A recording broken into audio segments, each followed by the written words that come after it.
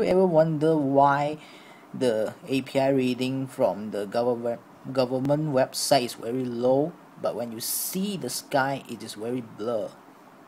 Today I'm going to tell you what are the calculation they do behind the scene for the API before that I'm going to tell you what are the pollutants in the air that affects our health there are five of them is used in the API readings.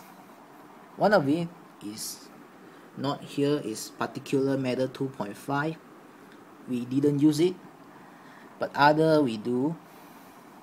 So the particulate matter 10 and the sulfur dioxide they use 24 hour readings while the nitrogen dioxide and the ozone they only use one hour readings and the carbon monoxide they use 8 hour readings. So after the calculation is done one of the highest one will be the API value on the website.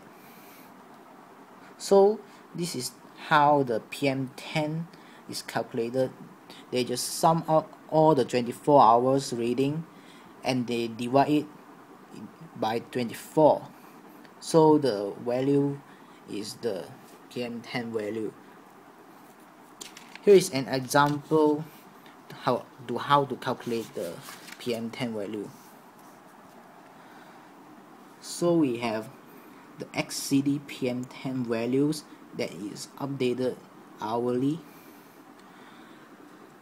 At the midnight, the PM10 value is 32, then it's dropped. At the lowest point is at the 2 a.m. Then it start increasing throughout the day and finally hit the highest point at 5 p.m.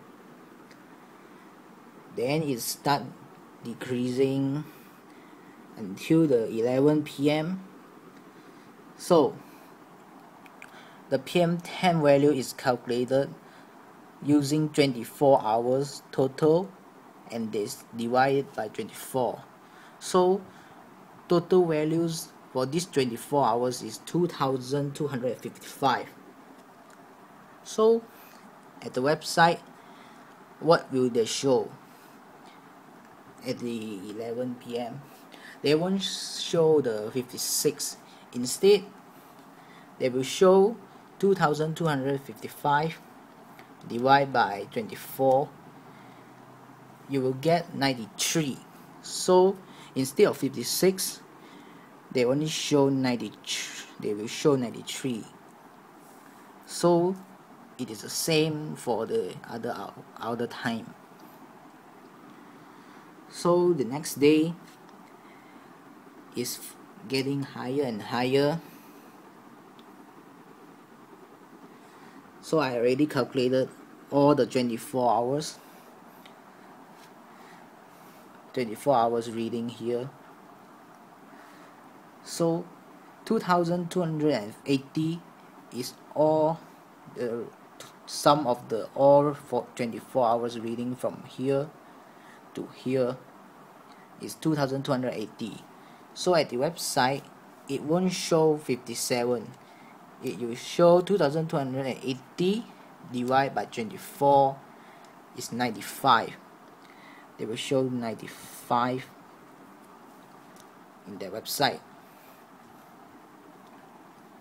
so it's, it's the same for other time? Like we use this one.